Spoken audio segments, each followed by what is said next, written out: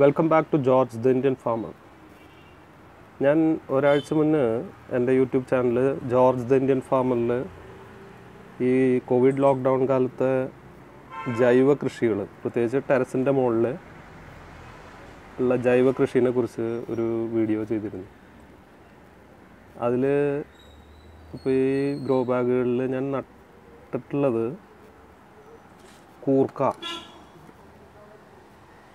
കൂർക്ക കുറച്ച് ഗ്രോ ബാഗിലുണ്ട് പിന്നെ നിങ്ങൾക്കിപ്പോൾ ഇവിടെ ഗ്രോ ബാഗുകളിൽ നോക്കുമ്പോൾ കാണുന്നത് അധികവും ചീരയായിരിക്കും. ഇത് കൂർക്കയാണ്. ചീര.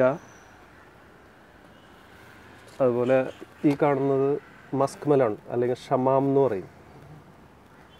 ഇപ്പോൾ പ്രത്യേകിച്ച് റംസാൻ ടൈമിലൊക്കെ ജ്യൂസ് അടിക്കാനും ഫ്രൂട്ട്സ് ഫ്രൂട്ടായിട്ട് കഴിക്കുന്ന ഷമാം മെലോൺ ഫാമിലിയിലുള്ളതാണ് മസ്ക് മെലോൺ പിന്നെയുള്ളത് ഇഞ്ചി. അപ്പോൾ ഒറിജിനലി ഞാൻ ഈ മൂന്ന് വെറൈറ്റിയാണ് ഒരാഴ്ച മുന്നേ ഞാൻ ഇട്ടിട്ടുള്ള വീഡിയോയിൽ ഞാൻ മെൻഷൻ ചെയ്തിരുന്നു. ഈ മൂന്ന് വെറൈറ്റിയാണ് ഞാൻ വെച്ചിട്ടുള്ളത്.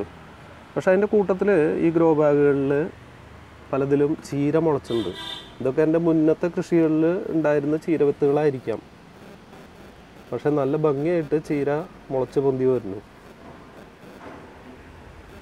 അപ്പോൾ ഇത് കുറച്ച് മുമ്പുണ്ടായിരുന്ന ഒരു ചീര. ഇത് മുതൽ ഞാൻ ഒന്ന് രണ്ട് പ്രാവശ്യം പൊട്ടിച്ചു ചീര. ഇവിടെയും ഒരു ചീര നല്ല ചീര നിൽക്കുന്നുണ്ട്. അപ്പോൾ ഇതൊക്കെ നമുക്ക് ബോണസാണ് പിന്നെ ഇതിപ്പോൾ ഇതിൽ സാമ്പാർ ചീര വരുന്നുണ്ട്. ഇതിവിടെ സാമ്പാർ ചീര. ഇതൊക്കെ കൂട്ടത്തിൽ ഉണ്ടായി വരുന്നതാണ്. അപ്പോൾ നമ്മുടെ മെയിൻ ക്രോപ്പ് എന്ന് പറയുന്നത് ഞാൻ ഈ പറഞ്ഞ മൂന്ന് കൂർക്ക ഇഞ്ചി അതുപോലെ ഈ മസ്ക് മെലോൺ ഷമാം. അപ്പോൾ അതുകൾ വളർന്ന് വലുതാവുന്നതിന്റെ ഒപ്പം ഫാസ്റ്റായിട്ട് ഈ കൂർക്ക വളർന്ന് വലുത് സോറി ചീര വളരും. അപ്പം നമുക്കിതിന് ഒന്നോ രണ്ടോ പ്രാവശ്യം ഹാർവെസ്റ്റ് ചെയ്ത് പിന്നെ അതിനെ വലിച്ചു കളയാം പറിച്ചു കളയാം.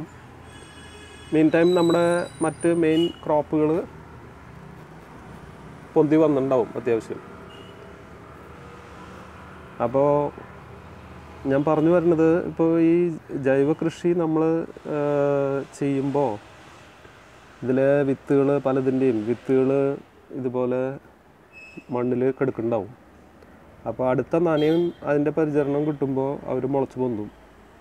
അപ്പോൾ ഇതിനൊന്നും നമുക്ക് പറിച്ച് വെക്കണമെന്നില്ല ചീരകൾ നമുക്ക് ഇതുപോലെ തന്നെ ഒന്ന് രണ്ട് പ്രാവശ്യമൊക്കെ കട്ട് ചെയ്തെടുക്കാം ചീരയുടെ അല്ല നല്ല ഓർഗാനിക്കായിട്ടുള്ള ഫ്രഷ് ആയിട്ടുള്ള ചീര. ഒന്നും അറിയാതെ നമുക്ക് കിട്ടുകയാണ്. അപ്പോൾ വളരെ എളുപ്പം നമുക്ക് ചെയ്യാവുന്ന ഒരു കൃഷി മെത്തേഡാണ് ഇതൊക്കെ. ഇതിൽ കേടുകൾ വരാം. പക്ഷേ ചീരനെ സംബന്ധിച്ച് ചീര പെട്ടെന്ന് വളരുന്ന കാരണം നമുക്ക് ഒരാഴ്ചയ്ക്കുള്ളിൽ തന്നെ ഇതൊരു ഇത് ഒരു പ്രാവശ്യം കട്ട് ചെയ്യാം. അപ്പോൾ ഒന്നോ രണ്ടോ ആഴ്ച അപ്പോൾ ഇനിയിപ്പോൾ രണ്ടാഴ്ച കഴിയുമ്പോൾ നമ്മുടെ മഴക്കാലം തുടങ്ങും. അതിന് മുമ്പ് നമുക്ക് ഒന്നോ രണ്ടോ പ്രാവശ്യം ഇത് കട്ട് ചെയ്തെടുക്കാം. അപ്പോൾ അത് ഒരു ഒന്ന് രണ്ട് കറി വെക്കാനുള്ള ചീര നമുക്ക് ഇതിൽ നിന്ന് ബോണസായിട്ട് കിട്ടും. ഇപ്പോൾ മിക്കവാറും ഗ്രോ ബാഗിൽ വിത്തുകളും മുളച്ചിട്ടുണ്ട് ചീരയുടെ അപ്പോൾ അത് നമ്മൾക്ക് വേണമെങ്കിൽ ഒക്കെ പറിച്ച് കളയാം. എന്താണെന്ന് വെച്ചാൽ നമ്മൾ ശരിക്കും നമ്മൾ വെച്ചിട്ടുള്ളത് ഇതിന്റെ അകത്ത് കൂർക്കയും ഇഞ്ചിയൊക്കെയാണ്. അപ്പോൾ അതല്ലാതെയുള്ള മറ്റ് ഇതുകൾ നമ്മൾ പറിച്ച് കളയാണ് സാധാരണ ചെയ്യുക. പക്ഷേ ചീര നമുക്ക് അങ്ങനെ കളയേണ്ട ഒരു സാധനമല്ലല്ലോ. അപ്പോൾ ഇത് നമുക്ക് വളരെ എളുപ്പത്തിൽ ചെയ്യാവുന്ന പ്രത്യേകിച്ച് ഗ്രോ ബാഗിലുള്ള കൃഷി ഞാൻ നോക്കിയിട്ട് ടെറസിന്റെ മുകളിലാണെങ്കിൽ കൂടുതൽ സൗകര്യപ്രദവും അതുപോലെ കൂടുതൽ അതിന്റെ കേടുകളില്ലാതെ. അതാണ് മെയിൻ കാര്യം. ഇപ്പോൾ ചീരയൊക്കെ ആണെങ്കിൽ പെട്ടെന്ന് അതുപോലെ പലതരം പച്ചക്കറികൾ ഇപ്പോൾ മിളക് ഞാൻ നാൾ പറഞ്ഞു. ഇവിടെ നിൽക്കുന്നത് ഈ നിൽക്കുന്ന ഒരു കാശ്മീരി ചില്ലി. അപ്പോൾ ഇതൊക്കെ ഈ മിളകൊക്കെ ഞാൻ താഴെയും നട്ടിട്ടുണ്ട് എന്ന് പറഞ്ഞാൽ മണ്ണിൽ വീടിന്റെ ബാക്കിൽ അതിനൊക്കെ കേടുകൾ പെട്ടെന്ന് വരും പലതരത്തിലുള്ള കേടുകൾ അതിപ്പോൾ പച്ചക്കറി കൃഷി ചെയ്യുന്നവർക്കറിയാം. പക്ഷേ ടെറസിന്റെ മുകളിൽ വരുന്ന ഗ്രോ ബാഗുകളിൽ വരുന്ന പച്ചക്കറികളിൽ വെക്കുന്ന പച്ചക്കറികൾ കുറേ കൂടിയും എന്തോ ഈ കേടുകളിൽ നിന്ന് റെസിസ്റ്റൻസ് ഉണ്ട്. അല്ലെങ്കിൽ കേടുകൾ കുറവാണ്.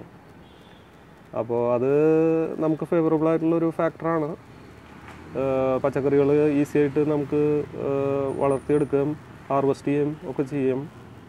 കേട് വരില്ല എന്നല്ല കേടുകൾ ഉണ്ടാവാം. പക്ഷെ അതിന് ഈ പറഞ്ഞ പോലെ തന്നെ ജൈവ രീതിയിലുള്ള ഇതുകളാണ്